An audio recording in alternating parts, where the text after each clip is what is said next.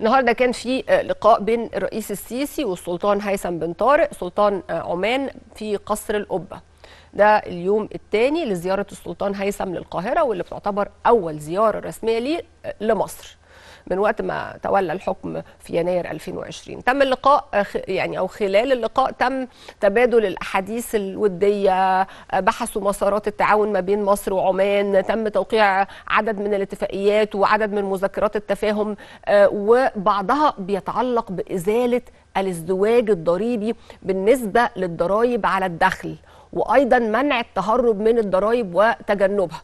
بالإضافة لمذكرة تفاهم خاصة بالتعاون في مجالات متعلقة بالسياسات والتطورات المالية. كمان السلطان هيثم عمل جولة في العاصمة الإدارية الجديدة في القاهرة. زار الحي الحكومي تفقد ساحة جامع مصر الكبير ودار القرآن الكريم بمركز مصر الثقافي الإسلامي ومدينة الثقافة والفنون اللي اتصممت عشان تكون وجهة فنية عالمية بما تمتلكه من مباني ومنشآت عصرية. سلطان عمان زار كمان دار الأوبرا وشاهد عرض مرئي حول إمكانياتها التقنية واللي اتصممت وفقا لأعلى وأحدث المواصفات العالمية. بعدها زار متحف عواصم مصر اللي بيعرض قصة العواصم المصرية وإزاي اتطورت عبر التاريخ.